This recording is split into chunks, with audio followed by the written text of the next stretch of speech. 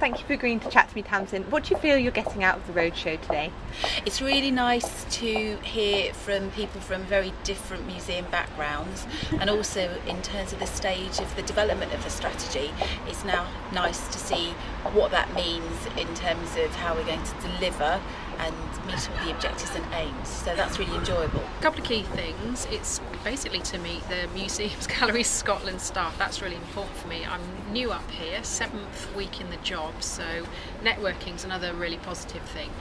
It's also understanding everybody else's perspective because obviously coming from the northwest, we've been through quite a lot of cuts there, but here I hadn't appreciated just so how raw and painful some people were feeling, and, and in particular as I've come up to actually deliver a big HLF project, it's important for me to understand what the sector's like up here. I think the other thing is to kind of like find out what projects are going on, what work is happening, so I can start to build sort of collaboration and partnership elements because um, that's really important for me on kind of remodeling the service and it's a transformational agenda and it's just like what are other people doing? So it, it's just a really brilliant opportunity for that. Great. And uh, do you think today will help you um, complete your questionnaire?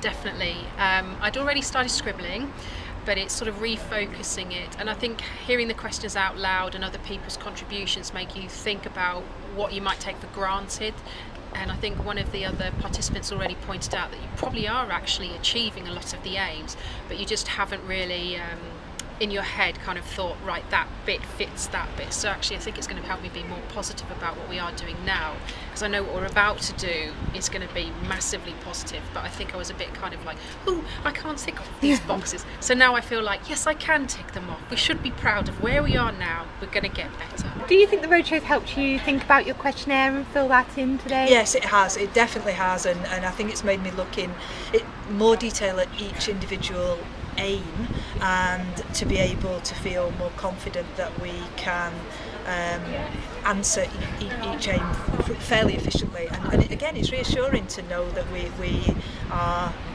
that we're going to be able to contribute to, to, to the national strategy in a really meaningful way.